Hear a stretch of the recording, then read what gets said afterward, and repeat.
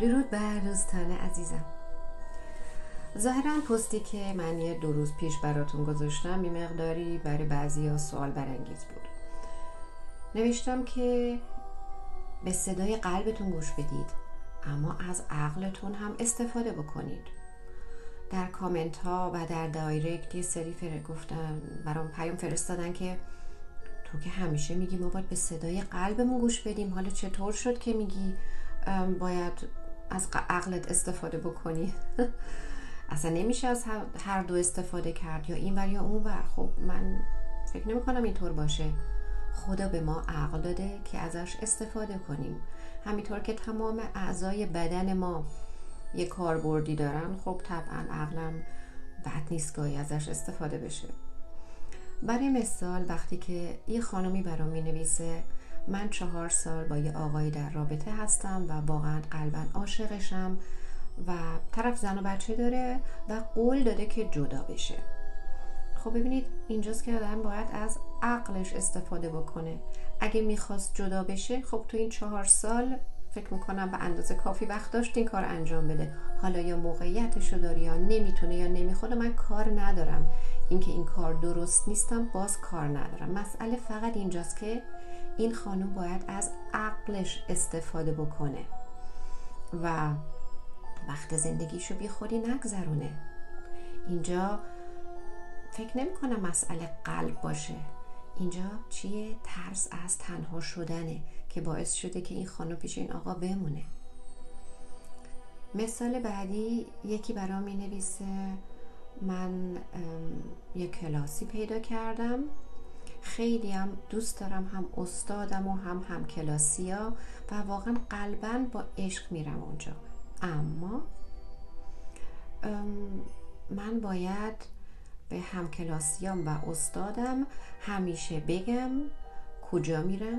چی کار می‌کنم؟ با کی حرف زدم؟ کی میره خونم؟ کجا میرم مسافرت؟ و تمام آمار زندگی با من باید به همه بدم.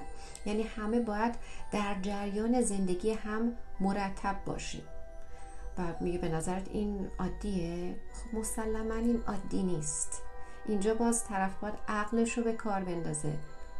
به اون استاد چه مربوطه که شما با کی معاشرت می‌کنید؟ درسته؟ می‌تونه بگه لطفا فقط با کسانی که ارتعاش خوب دارن سعی کن دوستی کنی. اما اونجور که این طرف می‌گفت خیلی فراتر از اینا بود. من وقتی بچه خودم ازش می‌پرسم کجا میری خیلی موقع میگه میرم بیرون. ولی دیگه نمیگه دقیقا کجا میره منم دیگه ازش نمی‌پرسم. وقتی فقط میگه فقط میرم بیرون یعنی سوال نکن دیگه. خب منم دیگه نمی‌پرسم. وقت اون استاد به چه اجازه ای یا اون همکلاسی برای چی باید بدونن که شما کجا میرید و چی کار می‌کنید؟ خب باز اینجا مسئله عقله. و باز دوباره ترس از تنهاییه. یکی برام می نویسه من عاشق یه خانومی هم 25 سال از خودم بزرگتره. چیکار کنم؟ خب عقل چی میگه؟ عقل میگه فرق نمی‌کنه مرد بزرگتر باشه یا زن. 25 سال کلا اختلاف سن فوق العاده زیادیه. خب عقل میگه می‌تونی 5 6 سال با این شخص خوش باشی حد اکثر. ولی بعد هر کس باید بره دنبال کار خودش. اینجا باز مسئله ترس از تنهایی که داد می‌زنه و نه صدای قلب. متاسفانه انقدر ما اشتباه می‌گیریم صداهای دیگر با صدای قلب که نمی‌تونیم تشخیص بدیم.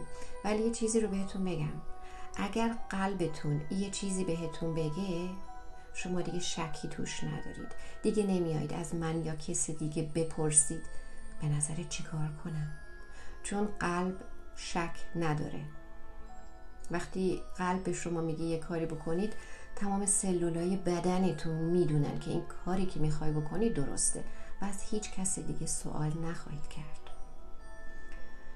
به هر حال راه رسیدن به خدا فقط از طریق قلب انجام میشه. ولی خب توی این مسیر صداهای دیگه خیلی موقع ها مزاحمت ایجاد می‌کنن و خواستم این رو براتون توضیح بدم برای اینکه دیگه بدونید من منظورم از این پست دو روز گذشته چی بود که به حرف قلبت گوش بده اما از عقلت هم استفاده بکن. برای همتون روز خوبی آرزو می‌کنم.